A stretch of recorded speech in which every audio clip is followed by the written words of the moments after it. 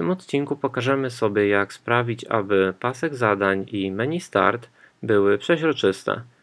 Tę funkcję znajdziemy domyślnie w systemie Windows, jeśli przejdziemy do ustawień i personalizacji. Jak widzimy jest ona tutaj dostępna, ale po jej włączeniu wszystkie komponenty systemowe stają się przeźroczyste. My jednak chcemy ustawić to osobno, czyli menu Start może być przeźroczyste, a pasek zadań nie.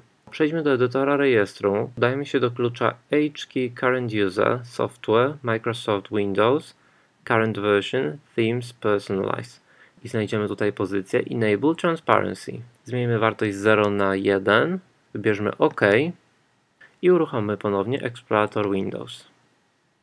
Jak widzimy menu Start jest przeźroczyste, wróćmy do edytora rejestru Udajmy się teraz do klucza HKey Local Machine Software Microsoft Windows Current Version Explorer Advanced i odnajdźmy tutaj wartość o takiej nazwie.